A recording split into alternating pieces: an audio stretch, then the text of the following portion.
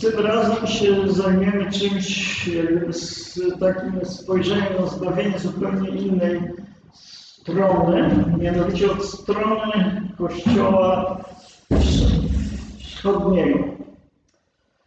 E, W czasie tej konferencji najpierw postaram się Wam wy, wyjaśnić, jaka jest właśnie specyficzna koncepcja zbawienia Kościele prawosławnym, które przynajmniej y, jest taką wiodącą koncepcją i o jej zaskakującej zbieżności z, objawiony, z objawieniami miłosierdzia Bożego, które znamy poprzez siostrę Faustynę.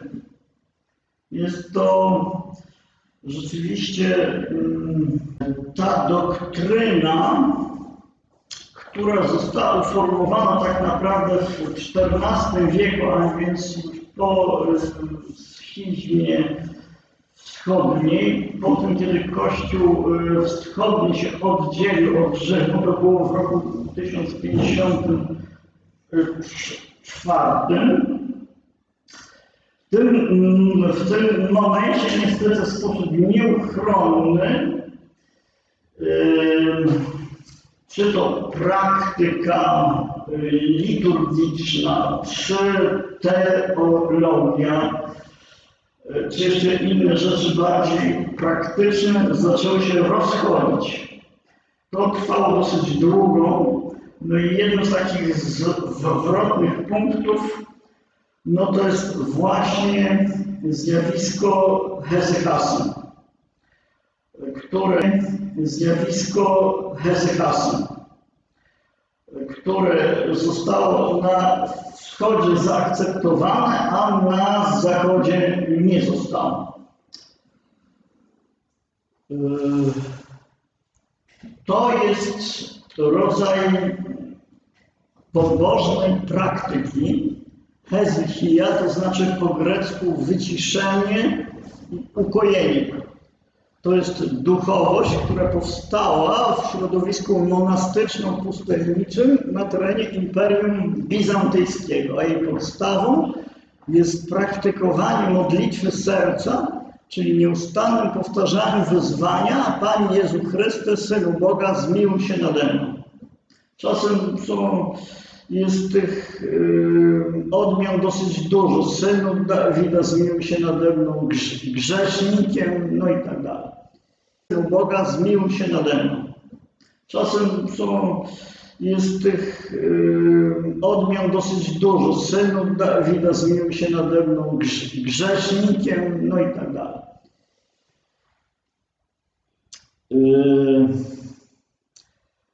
Y, no jest taka najbardziej charakterystyczna i skąd się to wzięło? No to się wzięło z listu do Tesaloniczan, kiedy święty Paweł mówi nieustannie się módlcie. I to była właśnie taka forma wprowadzenia w życie tego przekazania nieustannie się módlcie. Jak sprawić, aby człowiek modlił się nieustannie, mimo że no, musi musi jakiś prac dokonywać, musi jeść, musi spać, a mimo wszystko co zrobić, aby modlił się nieustannie. Trzeba serce, całe wnętrze człowieka doprowadzić do tego, aby nieustannie powtarzało wezwanie tej modlitwy. Każdy oddech, każde bicie serca niejako było wyrazem tej modlitwy skierowanej o miłosierdzie. Zmiłuj się nade mną. I no jest taka bardzo y, znana instrukcja, która pochodzi od Mnicha Symeona z XI wieku. Zamknij drzwi swojej celi, siedź w kącie i oderwij swą myśl od wszystkiego, co ziemskie, cielesne i przemijające. Potem skłoń swą brodę na pierś i skieruj Twoje oko, ciała i duszę na swój pępek. Następnie za, zaciśnij swoje nozdrza tak, żeby ledwo można było oddychać i nie zobaczysz przez swoje ciało, ale kiedy spędzisz w takiej postawie dzień i noc, wtedy o cudzie zobaczysz to, czego nigdy nie widziałeś. Zobaczysz całkiem jasno, że wokół Twojego serca rozprzestrzenie się boskie światło.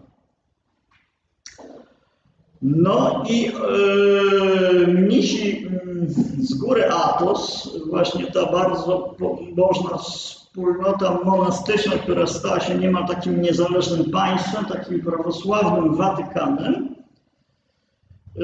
głosiła, że to tajemnicze boskie światło to jest to samo światło, które ujrzeli apostołowie na górze Tabor, na górze Przemienienia. I że w jakiś sposób nasze zba zbawienie to jest uczestnictwo i że w jakiś sposób nasze zba zbawienie to jest uczestnictwo właśnie w tym niestworzonym świetle sam, samego Boga. Co mówisz? Mhm. No tak, można by to uznać, że to jest chwała Boga, tak. To jest chwała Boga, która rozbłyskuje pośród ludzi. W każdym razie postać yy, światła.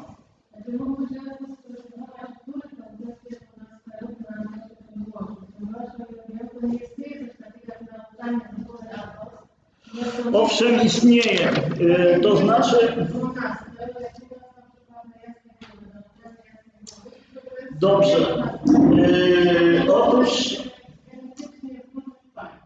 Tak, to znaczy na górze wschodni palec, wokół wyspy te trzy palce są.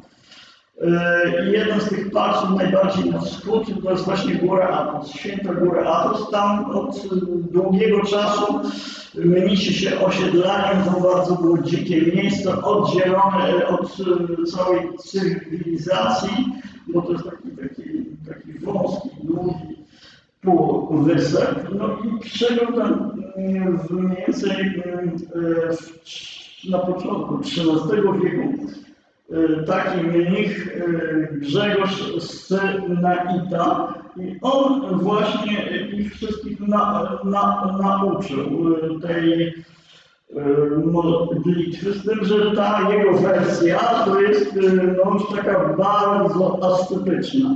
No, mogę wam oczywiście przeczytać, że tam na przykład mówi pochyl się, oczywiście przeczytać, że tam na przykład mówi pochyl się, do, pochyl się boleśnie z wielkim bólem piersi, ramion i szyi, krzycz wytrwale myślą i duszą.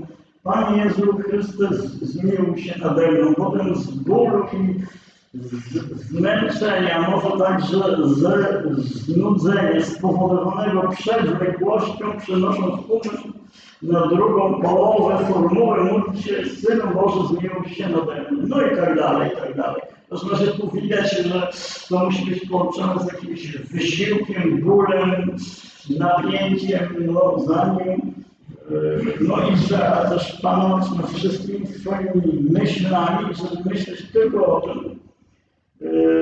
I nawet mówi, że w przywoływaniu Pana Jezusa nie, nie, nie, potem tak. Jedno słowo. Jest czysty opis medytacji. Piątek, niedzielę właśnie to robimy. Zapraszam serdecznie. Katolicka medytacja, żeby ale tam nie jest. Dokładnie też tak cały czas robię, aczkolwiek nie wychodzi ze mnie na. Zęby jeszcze też.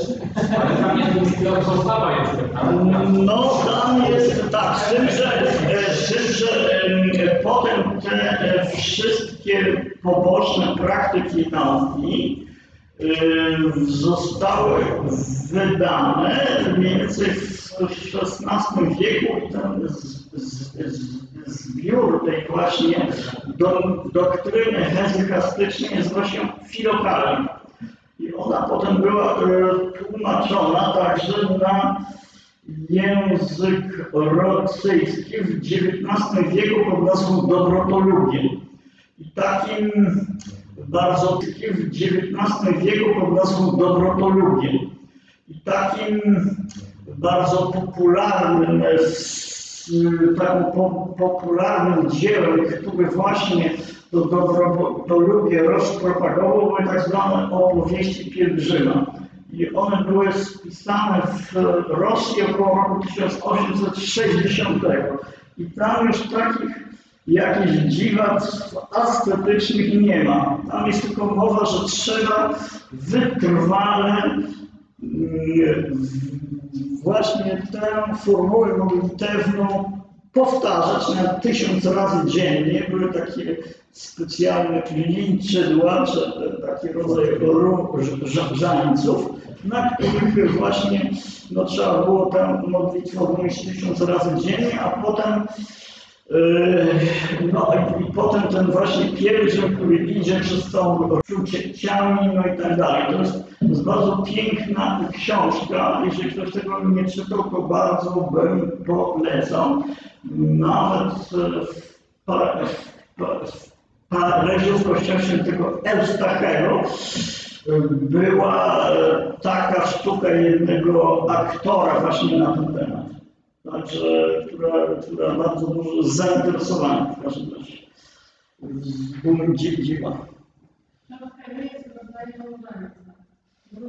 jest kobieta objawiona do konkretnego... Słuchaj, Marysiu, naprawdę się nie czepiaj, bo yy, gdybyś, gdybyś znała historię różańca, to byś wie, wiedziała doskonale, że to nie była modlitwa objawiona od samego początku, tylko polegało to na wzywaniu imienia Matki Bożej właśnie od początku, tylko polegało to na wzywaniu imienia Matki Bożej właśnie po- powtarzania pozdrowienia anielskiego od mniej więcej VII-VIII wieku na zachodzie. Natomiast z rzekomym ob, ob, objawieniem na temat różańca dla świętego Dominika, założyciela Dominikanów, to jest legenda. To zostało stwierdzone, że to jest legenda. Więc e, Słuchajcie, ja proponuję się nie rozpraszać, bo, bo ja już czekam na tą pomstę. Dobrze.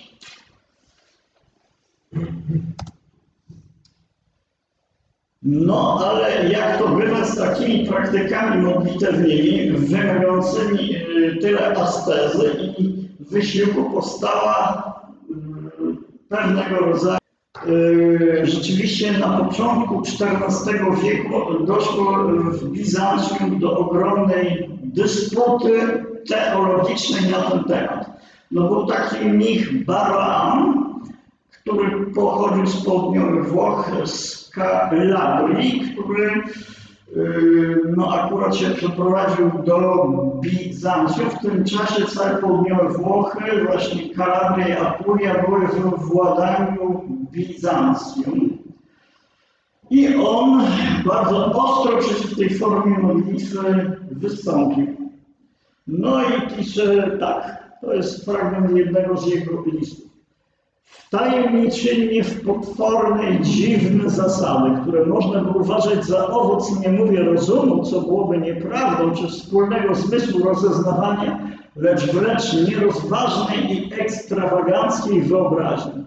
Obojętnego zmysłu rozeznawania, lecz wręcz nierozważnej i ekstrawaganckiej wyobraźni obejmowane cudowne rozdzielenie i wizje umysłu oraz duszy, następowanie po serii białych świateł i kolorów ognia, przypływy i odpływy umysłowe zespolone z duchem, chwytanie nozdrzami, łaskotki wokół pępka, wreszcie połączenie za pępkiem naszego ducha z duszą w pełnym prze, przeczuciu serca i inne podobne rzeczy, które moim zdaniem są niczym innym jak prawdziwym obłędem i brakiem rozumu. Czyli y, ten właśnie Balaam sobie porozmawiał z niektórymi mnichami z góry Atos i do takiej konkluzji doszedł. Co ciekawe, y, katolicka encyklopedia amerykańska New Advent z roku 1900 E, Mówi, to jest oczywiście wsch- wschodnia herezja, która przypomina swoimi praktykami hinduskich fakirów. Piszą tak dosłownie. I, e, e, I nawet nie wymieniają jakichś tam imion i tak dalej. No, czas, czasem ale mówią, no to jest, to, jest, to, jest, to jest taki obłęd. I my tutaj jako zdrowy rzymski kościół z tym nic wspólnego nie mamy. Jest, e, mówię jeszcze, no tak powiem, stanowisko bardzo poważnych amerykańskich teologów, którzy pisali tam właśnie encyklopedię New Advent. No i teraz e, e, na e, takie dictum acerbum e, e, na takie dictum acerbum e, wspólnota z góry Atos, e, że tak powiem, przypuszcza kontrofensywę. Higumen, czyli przeor z góry Atos wezwał do obrony hezychasmu niejakiego Grzegorza Palamasa, 30-letniego mnicha, który odebrał najpierw staranne wykształcenie filozoficzne, ale po nawróceniu został pustelnikiem na Świętej Górze. W sytuacji zagrożenia swojej wspólnoty Palamas stopniowo opracował koncepcję teologiczną, której celem była obrona tezy, że śmiertelny człowiek może pod pewnymi warunkami kontemplować niestworzone światło Boże na podobieństwo apostołów na górze przemienienia. Tutaj właśnie była taka rzecz, że no, jak człowiek, z tym, że to nie była jakaś normalna dys, dysputa między nimi, bo w tym czasie w Bizancjum toczyła się wojna domowa. I tak się e, przy okazji przydarzyło, że każda z tych stron usiłowała znaleźć protektora jakiegoś innego pretendenta do tronu bizantyjskiego. No, typowo bizantyjska historia, y, połączenie spraw, brudnych spraw politycznych z jakąś taką bardzo głęboką duchowością. No, to, jest, y, to jest ten świat. Y, No i w końcu na ostatnim, y, na ostatnim z tych sześciu synodów zwyciężył palamityzm. W roku 1351 synod ogłosił tak zwany tomos, to jest rodzaj takiej konstytucji dogmatycznej, w którym naukę Palamasa za dogmat wiary prawosławnej, a on sam został w nagrodę mianowany biskupem Tesaloniki. Też tak. No i jest za y, świętego uważany w kościele prawosławnym. Przepraszam, y, to jest pytanie, czy to, mówisz o macie coś dosłowny? E, Tak, oni, oni rzeczywiście tę naukę zdogmatyzowali, zaraz wam powiem. No właśnie. E, Przeczytajmy, e, przeczytajmy najbardziej dwie najbardziej charakterystyczne e, wypowiedzi, z tym, że ja nie chcę czytać tekstu tego Tomos, bo to no nie jest, że tak powiem, główny cel tej konferencji. Tam jest tam sześć punktów. No, nie jest to może jakiś bardzo tego Tomos, bo to no nie jest, e, że tak powiem, główny cel e, tej konferencji. Tam jest tam sześć punktów. No, nie jest to może jakiś bardzo długie, no ale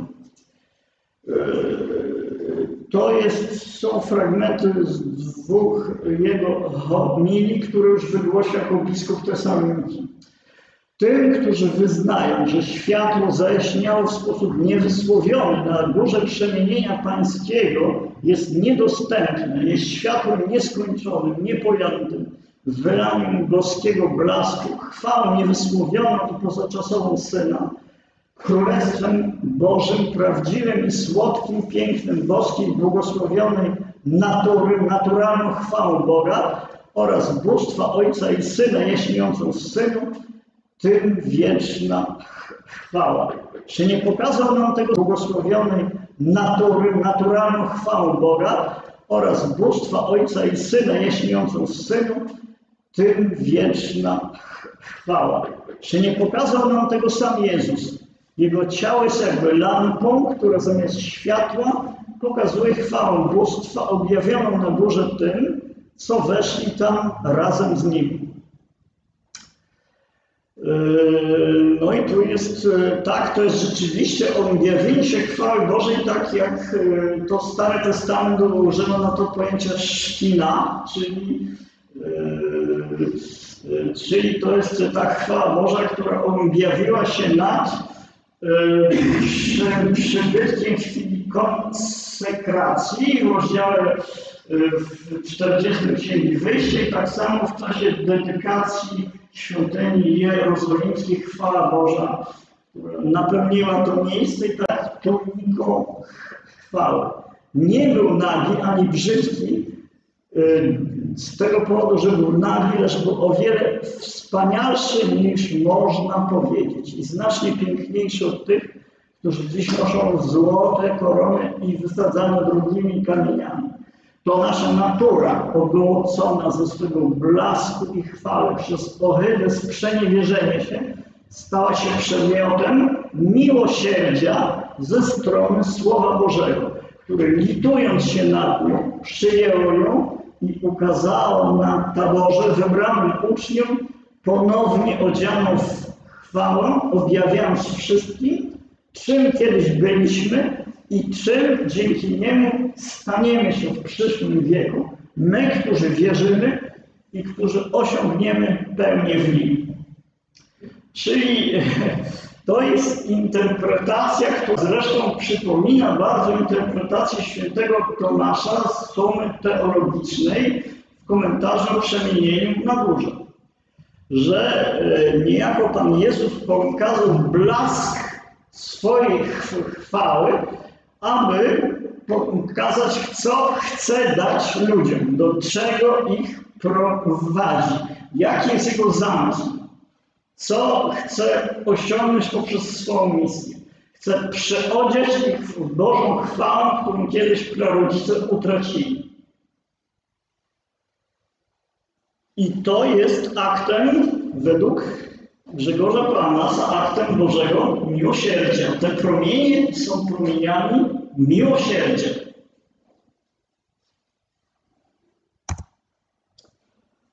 No i teraz, co się dzieje na zachodzie wobec tego, co się głosi tam w Konstantynopolu? W XIV wieku panuje zupełne niezrozumienie doktryny palamickiej. No właśnie. E, To jest taka rzecz, że e, Grzegorz Palamas, mówiąc o tym świetle góry przemienienia i chcąc uzasadnić fakt, że nikt żywy nie może Boga zobaczyć i pozostawać żywym, stwierdził, że no tak, to, że nie można Boga zobaczyć, to dotyczy tylko Jego is- istoty, czyli Bóg jest w swojej głębi. Tak? a mm, można ujrzeć coś, co on nazwał boskimi energiami.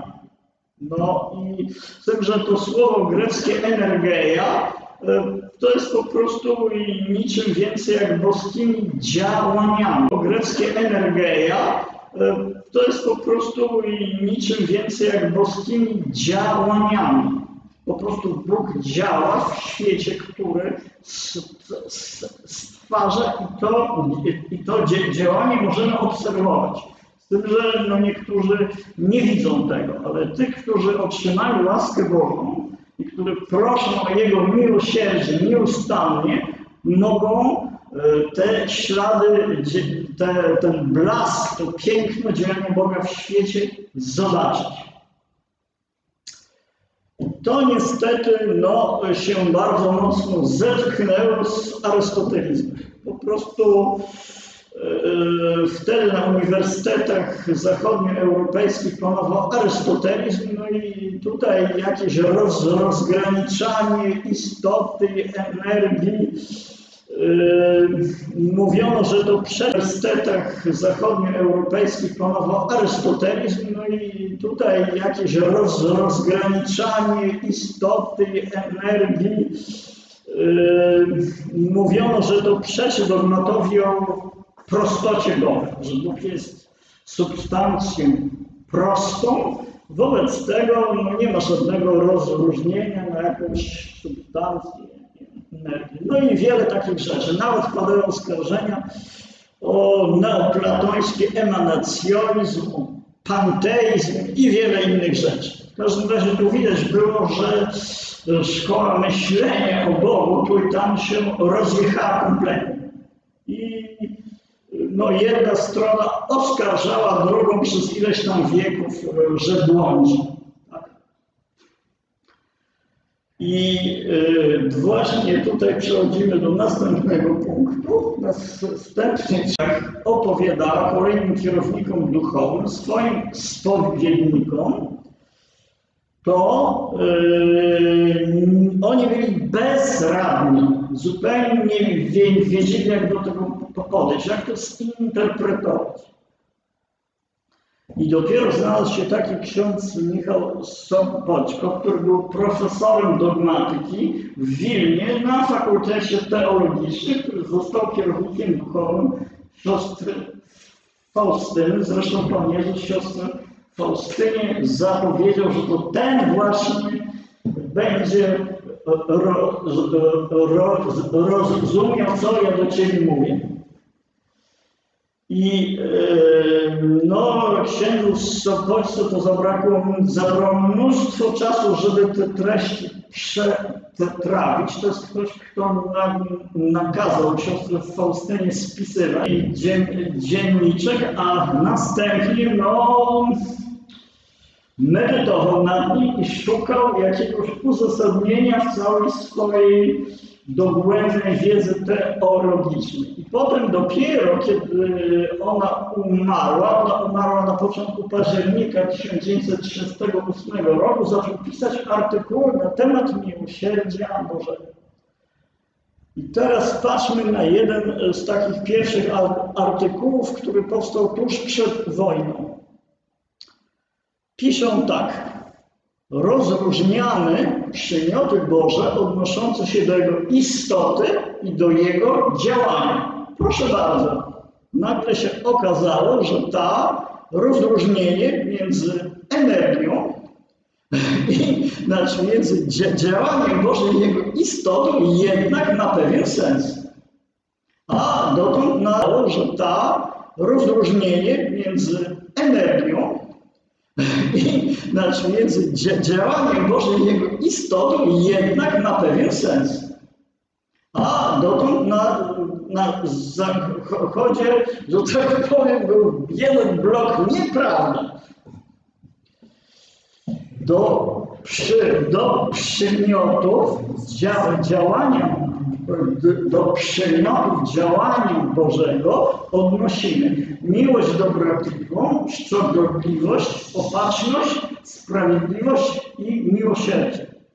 A więc miłosierdzie Boże to jest przymiot działalności Boga, przy tym spośród innych przymiotów tego rodzaju jest przymiotem najwyższym, czyli pierwszym źródłem działalności Jego na zewnątrz. Miłosierdzie Jego jest ponad innych przymiotów tego rodzaju, jest przymiotem najwyższym, czyli pierwszym źródłem działalności Jego na zewnątrz. Miłosierdzie Jego jest ponad wszystkie uczynki Jego, psalm 144. I dalej, to już jest w artykule napisanym tuż po wojnie, pisze tak, Wprawdzie Bóg, właśnie jak gdyby na ten zarzut odpowiadając, wprawdzie Bóg jest nierozdzielną jednością, ale dla lepszego poznania Boga rozróżniamy w nim poszczególne doskonałości, łączymy je w pewne grupy, odnosząc je do natury Boga.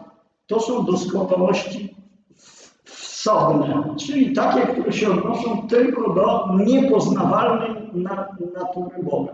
Na przykład boska nieskończoność, tak? samego Boga życia Trójcy. A inne w stosunku ku stworzeniu, czyli doskonałości relatywnej, które się odnoszą do stworzenia. Miłosierdzie Boże należy do tej drugiej grupy i w niej jest najwyższą doskonałością odnośną, czyli że ono, jak się wyraża święty Tomasz z Akwinu, w każdym dziele Bożym znajduje się tu jest jeszcze, to jest ksiądz Sąpoćko, ale największa bomba, że tak powiem, znajduje się w encyklice Jana, świętego Jana Pawła II, Diversi Misericordia. I e, papież wtedy, kiedy pisał tę encyklikę, e, w zasadzie tego dzienniczka nie znał, bo ono mm, było jeszcze w trakcie krytycznego opracowania, a e, ta, te wersje, które wtedy istniały, były wydrukowane, miały mnóstwo błędów. Po prostu siostry sobie, e, siostry, które chciały ten dzienniczek wydać, poprawiły mnóstwo błędów, no bo ta siostra Faustyna trafia analfabetka, trzy klasy szkoły podstawowej, nie umie dobrze pisać. No i w, wy- w wyniku takich korekt wprowadziły mnóstwo błędów teologicznych, które Faustyna trafia analfabetka, trzy klasy szkoły podstawowej, nie umie dobrze pisać. No i w wyniku takich korekt wprowadziły mnóstwo błędów teologicznych, które oczywiście kongregacja do spraw doktryny wiary, czy to się jakoś tam inaczej nazywało, e, po prostu wychwyciła natychmiast i stwierdziła, że takiej osoby nie będziemy oczywiście beatyfikowali. To było w roku 1958. Więc wtedy kardynał Wojtyła zlecił, żeby nastąpiło krytyczne wydanie na podstawie oryginału słowów słowo. Niczego nie poprawiamy, nie przekręcamy. I e, to są jego, e, w tej encyklice to są jego osobiste przemyślenia na temat e, miłosierdzia Bożego, które nie są inspirowane, e, miłosierdzia Bożego, które nie są inspirowane tekstem dzienniczym. Pisze tak. Niektórzy prorokowie twierdzą, że miłosierdzie jest największym spośród przymiotów i doskonałości samego Boga. To Biblia, tradycja i całe życie z wiary ludu Bożego dos, i, a, dostarcza z pewnością swoistego pokrycia dla tego twierdzenia. Nie chodzi tutaj o, właśnie to jest zdanie najistotniejsze, nie chodzi tutaj o doskonałość niezgłębionej istoty Boga w tajemnicy samego bóstwa, ale o doskonałość i przymiot, w którym człowiek z całą wewnętrzną prawdą swojej egzystencji szczególnie blisko i szczególnie spotyka się z żywym Bogiem. Stosownie do swego miłosierdziem jakiś szczególny moment wewnętrznej prostoty i prawdy. Czyli w jakimś sensie to rozróżnienie między tym, co jest istotą Boga i Jego działaniem na zewnątrz zostaje tutaj przez y, głowę Kościoła potwierdzone. Oczywiście można sobie powiedzieć, że w prawosławnej doktrynie w wyniku tam jeszcze jakichś tam innych sporów, no to zostały w jakiś sposób wyrażone w sposób taki, że mogą być dla Kościoła nieakceptowalne, ale yy, to, co tutaj przynajmniej pisze Grzegorz Parnamas na ten temat w swoich tekstach, no jak najbardziej się zgadza z tym, co jest tutaj. I, I, trzeba tutaj jeszcze dodać, że Jan Paweł refleksję świętego Tomasza z Akwinu, która widzi w miłosierdziu uzupełnianie braków. No, czyli właśnie człowiek, który upadł, człowiek, człowiek, który prowadził swoją naturę zaburzenie, no jest takim bytem wybrakowany, a mi, miłosierdzie Boże się pochyla nad tym i niejako, niejako te wszystkie braki uzupełnia.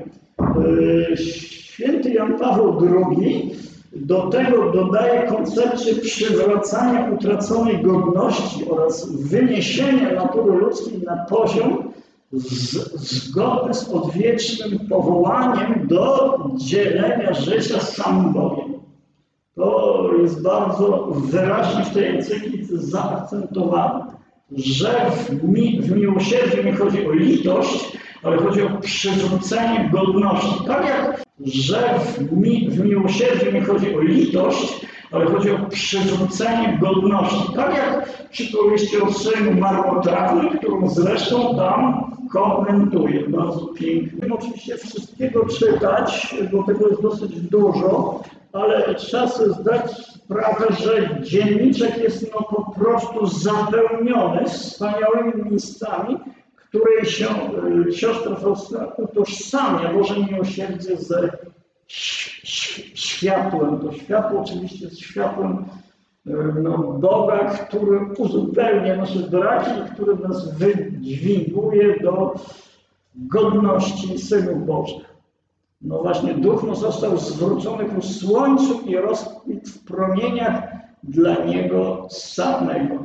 I co jest ciekawe, że święty właśnie Grzegorz, Grzegorz Palamas mówi o tym, że no właśnie Bóg jest jak słońce, a to jego właśnie, ta jego boska energia to jest jak promień, który dociera. Więc tutaj mamy sło- słownictwo niemalże identyczne. Promień, który dociera. Więc tutaj mamy sło- słownictwo niemalże identyczne.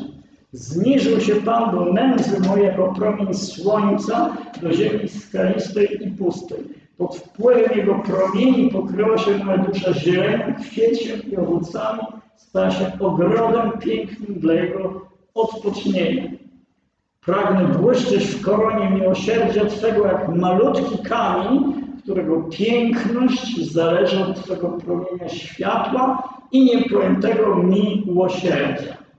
Otóż y, katechizm prawosławny, y, wydany stosunkowo niedawno temu, w latach 90. XX wieku, y, właśnie mówi, że zbawienie jest czymś takim, jakbyśmy byli malutkim kawałkiem y, sz- sz- sz- szkła, jakbyśmy byli fragmentem wiatru, ale kiedy, kiedy padnie na s- promień słońca, wtedy sam się staje światłem. To jest właśnie ta wschodnia koncepcja zbawienia. Więc żeby osiągnąć zba- zbawienie, musimy dać się przetopić przede wszystkim, aby stać się takim światłem, takim kawałkiem szkła przezroczystym dla, świe- dla, świe- dla światła, czyli musimy dać się przetopić i musimy dać się ws- wstawić w ten witraż. I wtedy każdy z nas stanie, rzeczywiście stanie się kimś takim. No tutaj to jest mowa o tym dalej, w jaki sposób właśnie Bóg działa na duszę, w ten sposób, że on rozpromienia coraz bardziej. No jest takich fragmentów tak wie- wiele, że e, tego dzisiaj nie e, przeczytamy. Chciałem tylko zwrócić, na, obraz. No i takie obrazy, które są najbardziej znane i rozpoznawalne jako obrazy Jezusa Miłosiernego są trzy. Pierwszy to jest, nazwijmy to, jest to obraz oryginalny, który został namalowany w Wilnie. E, Siostra Faustyna przy tym i ksiądz Sopoćko przy tym uczestniczyli. To jest mm, obraz Edmunda Kazimierowskiego. Y, Ten, ten właśnie pierwszy, tak, ten. Y, I tutaj musiałbym przeczytać y, dokładnie, jak właśnie mm, siostrze Faustynie Pan Jezus polecił na, mm, y, siostrze Faustynie Pan Jezus polecił namalować ten obraz. To jest e, 22 luty 1931 rok Płock. Wieczorem, kiedy byłam w celi, ujrzałam Pana Jezusa ubranego w szacie białej. Jedna ręka wzniesiona do błogosławieństwa, druga dotykała szaty na piersiach. Z uchylenia szaty na piersiach wychodziły dwa wielkie promienie, jeden czerwony, a drugi blady. W milczeniu wpatrywałam się w Pana. Dusza moja była przyjęta bojaźnią, ale i radością wielką. Po chwili powiedział mi Pan Jezus, wymaluj obraz według rysunku, który widzisz, a podpisem Jezu, ufam Tobie. Pragnę, aby obraz ten przy, e, najpierw w kaplicy Waszej i na całym według rysunku, który widzisz, a podpisem Jezu, ufam Tobie. Pragnę, aby obraz ten przy, e, najpierw w kaplicy Waszej i na całym świecie. Te, mm, tak, te dwa promienie oznaczają krew i wodę. Blady promień oznacza wodę, która usprawiedliwia duszę. Czerwony promień oznacza krew, który jest życiem duszy. Moje spojrzenie z tego obrazu jest takie, jak spojrzenie z krzyża. I trzeba tutaj y, rzec, że y, mimo wielkich oporów tego pana Kazimierowskiego, y, siostra Faustyna dopięła swego, mianowicie jest to obraz, w którym Pan Jezus y, pojawia się w szacie kapłańskiej. Można by ten, tą krew do świętego świętych. W takiej szacie Pan Jezus przedstawiony. Ręka do błogosławieństwa y, nie może wykraczać właśnie poza poziom tutaj bar. Taki był przepis liturgiczny, który przynajmniej do ostatniego soboru obowiązywał, więc nie może być wyżej. No to jest ręka do błogosławieństwa. I yy, yy, ta, Pan Jezus się okazuje w całkowitej ciemności jak lampa. To jest niemalże identyczne. Jest to niemalże ilus, ilustracja tego, co Grzegorz Palama w swojej homilii mówi. Jezus jak lampa.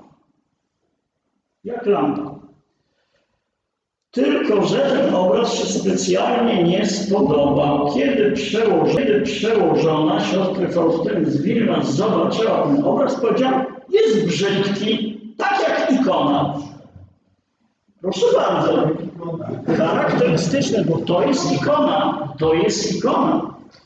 I Pan Jezus mówi tak, nie z piękności farby ani pędzla jest wielkość tego obrazu, ale w łasce mojej. To jest teologia ikony wyrażona w jednym zdaniu. W jednym zda- zdaniu. Właśnie tak zrobił ikon. Tak jak ktoś mówił, nie wiem, jakiś był francuski teolog, który mówił tak, jak patrzę na Madonnę na obrazie Velasqueza, to chce mi się krzyczeć, jaka ona jest piękna.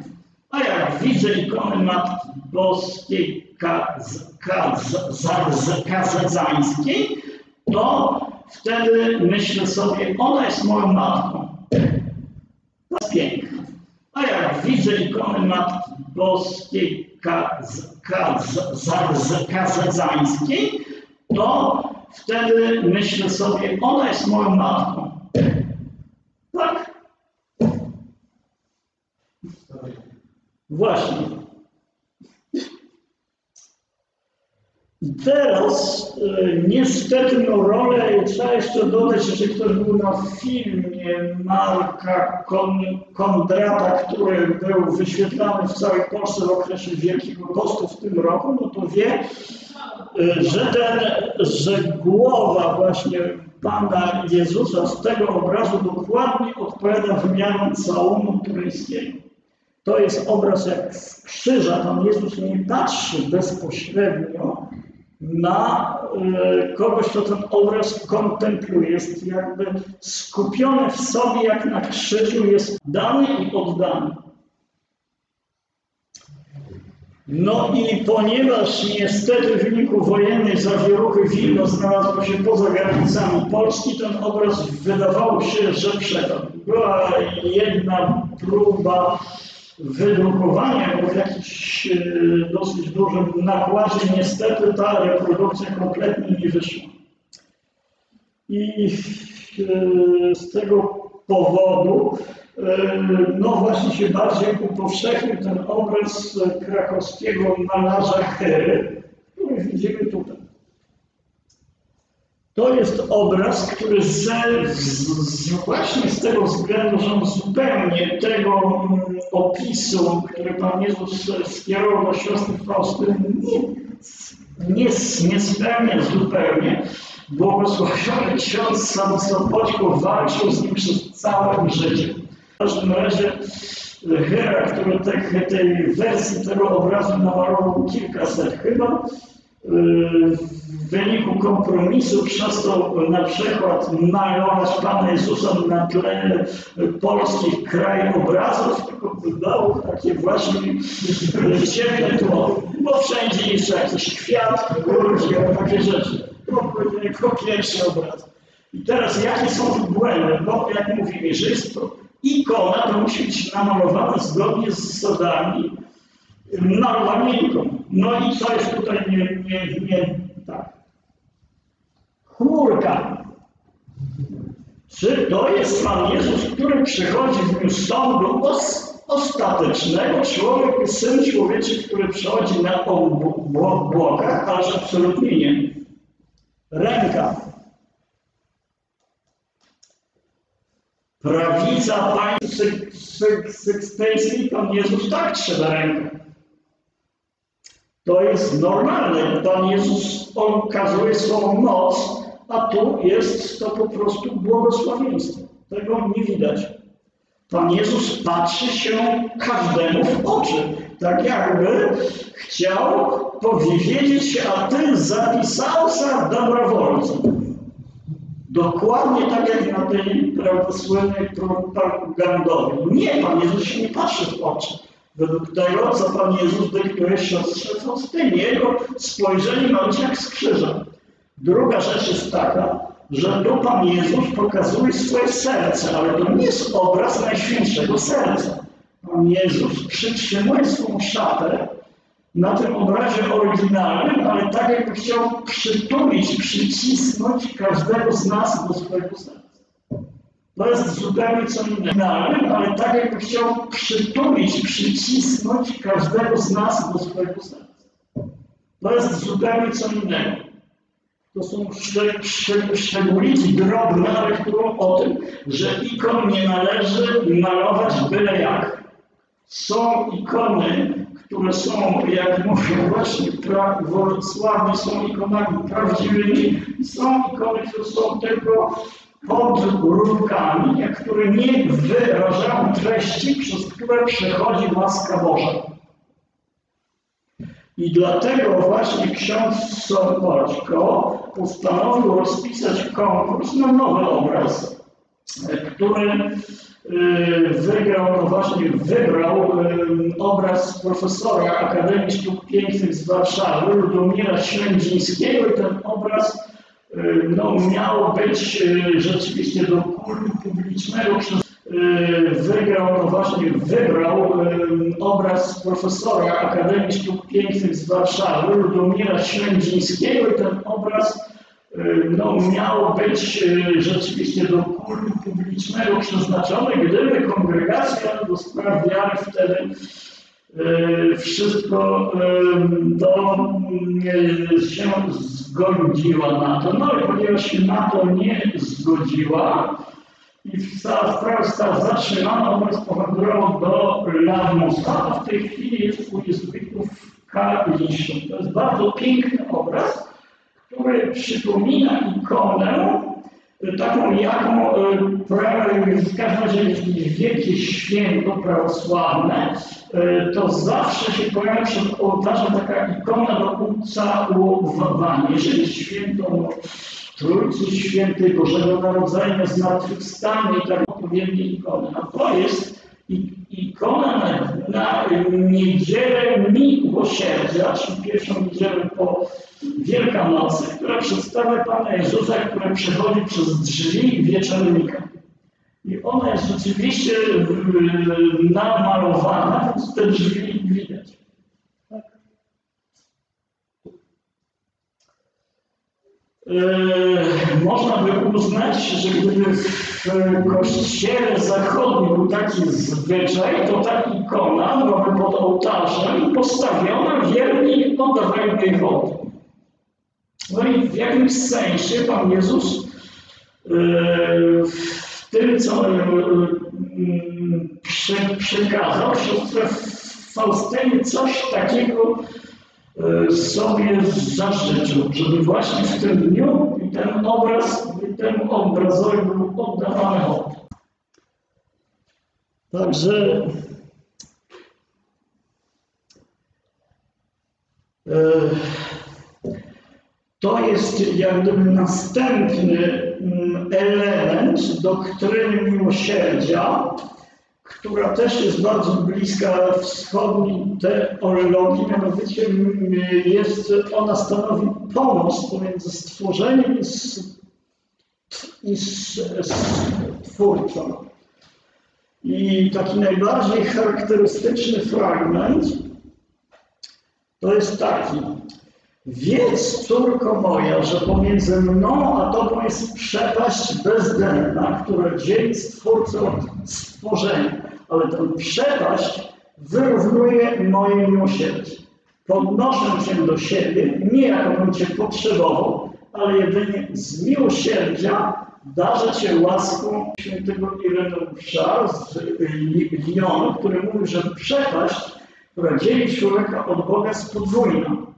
E, Najpierw jest to przepaść taka, że jesteśmy stworzeni, on jest twórcą, on jest nieskończony, my jesteśmy skończeni, jest nieśmiertelny, jesteśmy śmiertelni i tak. E, Jest wszechmocny, nasza moc jest ograniczona, a przepaść grzechu jest taką przepaścią dodatkową. Więc nawet gdyby nie było przepaści grzechu, to byłaby jeszcze ta przepaść, która łączy, która dzieli stworzenie i i nawet wtedy potrzebne byłoby miłosierdzie Boże. Potrzebne byłoby e, mm, i e, e, jak właśnie tutaj pisze święta Faustyna, oddaje się całkowicie pod promienie tego słońca, niech jego miłość, święta Faustyna, oddaje się całkowicie pod promienie tego słońca, niech jego miłość dokona w nim całkowitej przemiany. Twoje, twoje imię jest słońcem, którego promienie oświecają, ale i grzeją. Dusza pod ich wpływem staje się piękna i promienieje, biorąc blask z imienia Twojego. No, to są piękne teksty, ale to są równocześnie, śmiem twierdzić, teksty dogmatyczne. Z, z, z, z, ten, to jest, to, jest, e, to jest coś, co nam uświadamia, że, e,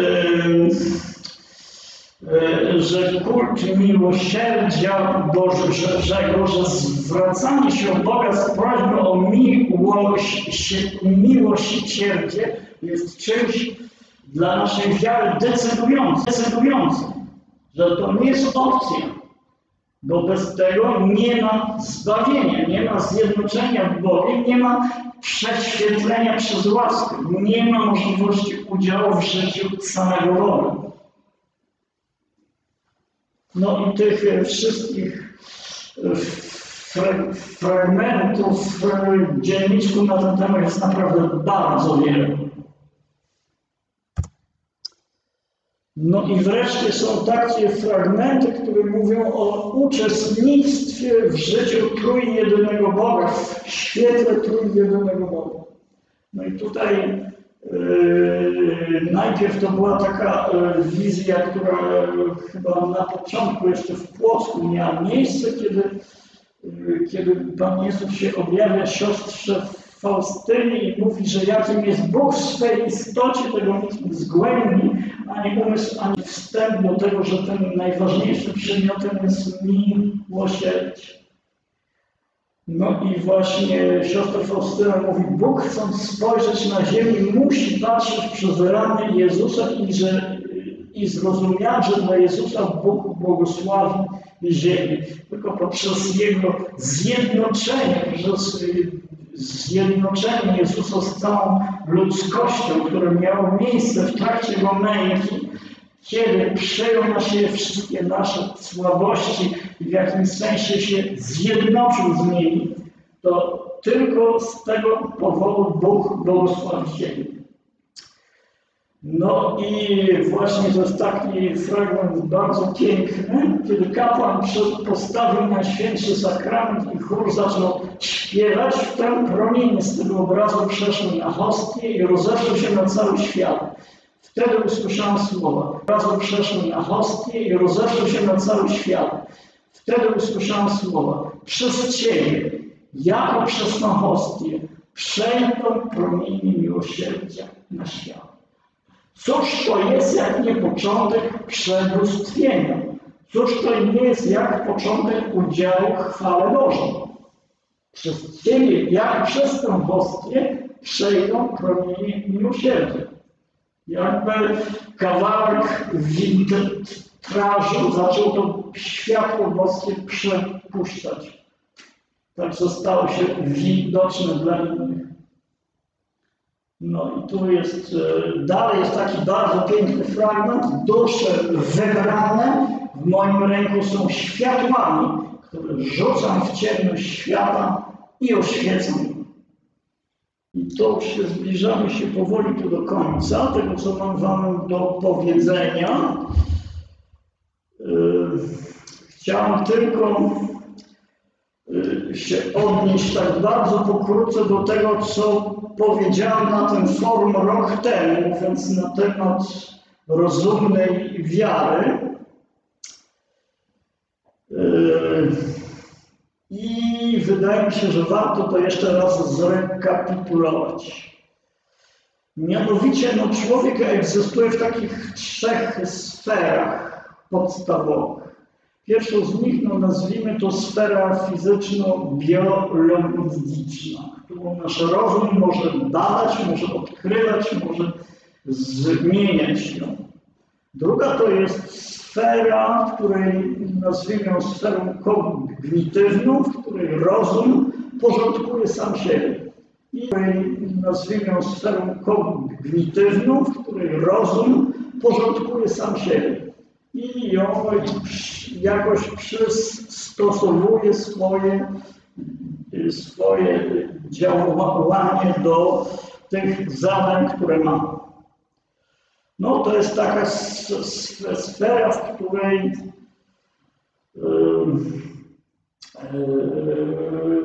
w której niejako rozum niejako rozmyśla sam nad sobą, tak? I wreszcie jest sfera trzecia, którą niestety nie wszyscy chcą uznać, ale która jest czymś rzeczywistym. Jest to sfera miłości Bożej, do której wszyscy jesteśmy wezwani. Yy, Tej sfery rozum nie może badać. Tej sferze może się rozum tylko podporządkować. Miłość to nie jest coś, co można badać z sfery Bożego ś- ś- ś- światła. I yy, głównym celem i zadaniem człowieka na Ziemi jest właśnie w to, żeby się nauczyć działać w tej sferze miłości bezinteresownej, która polega na tym, że odnajduje siebie, kiedy czyni z siebie dar dla innych. To nie jest takie oczywiste.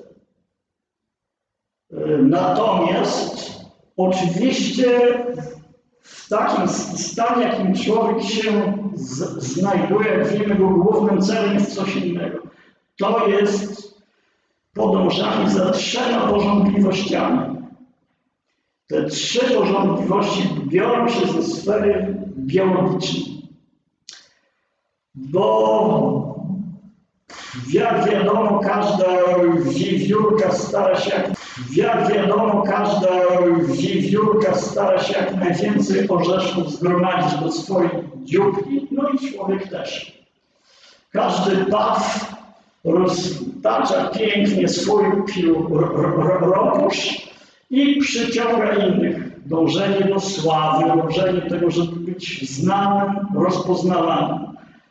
I dwa jelenie się trygają, bo każdy z nich chce zostać samcem alfa. Dążenie do władzy.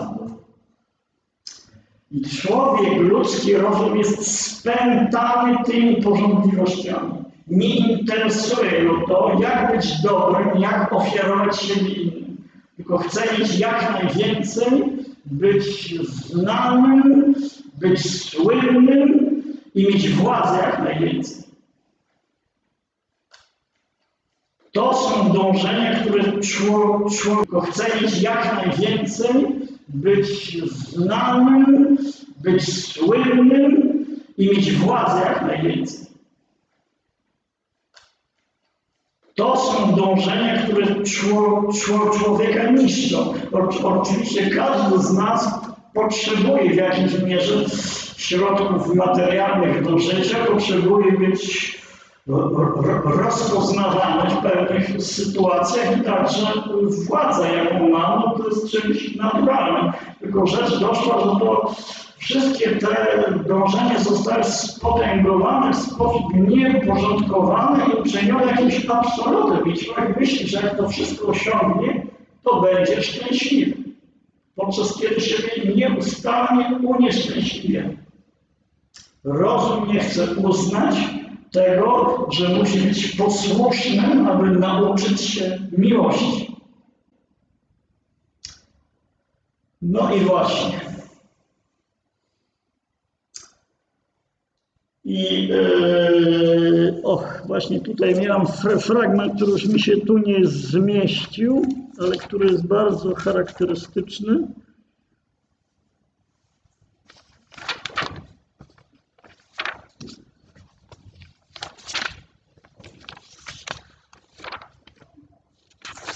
Ojej, czy ja tu w ogóle wziąłem?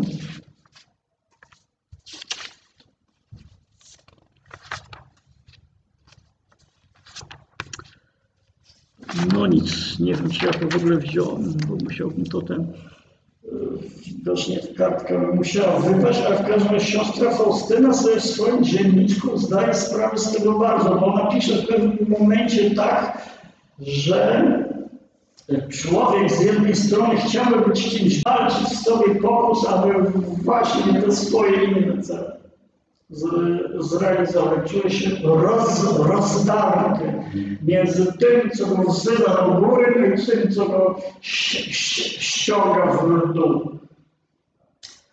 I właśnie z tego powodu to wołanie o Boże miło- miłosierdzie jest tak istotne. Bo tylko dzięki niemu możemy zostać wyprowadzeni z tej matni. Co ciekawe, że właśnie ksiądz Tischner pod koniec życia bardzo się zajmował siostrą Faustyną. Jeden ze swoich ostatnich tekstów napisał takie coś, no właśnie to jest coś niesamowitego, którą zapoczątkowała mistyka siostry Faustyny. Zwróćmy uwagę na tego, na modlitwę do miłosierdzia Bożego, którą wyniosła z jednej ze swoich wizji. Na drugi dzień rano, kiedy weszłam do naszej kaplicy, usłyszałam to słowo wewnętrzne. Modlitwa to jest na uśmierzenie gniewu mego. Są w tej modlitwie sformułowania wstrząsające. Modlący się mówi do Boga Ojca, dla Jego bolesnej męki miej miłosierdzie dla nas i świata całego. Co to znaczy? To znaczy, że człowiek wkracza w wewnętrzne życie Trójcy Świętej, by podsunąć przed oczy Boga widok ukrzyżowanego Syna. Mówi, patrz na Syna. Patrząc na Syna, dla Jego bolesnej męki miej miłosierdzie. Dlaczego nad nami? Dla Jego bolesnej męki miej miłosierdzie. Dlaczego nad nami? Dlatego, bo cierpiał za nas. Popatrz, Boże, na nas poprzez Niego. Trzeba mieć odwagę mistyka, by uczyć ludzi takiej modlitwy. I dalej jeszcze pisze w tym kom- komentarzu, że tak właśnie dokonuje się nasze przebłysnienie. Tak używa tego właśnie ws- wschodniego terminu. Także dziękuję bardzo i zapraszam do dyskusji.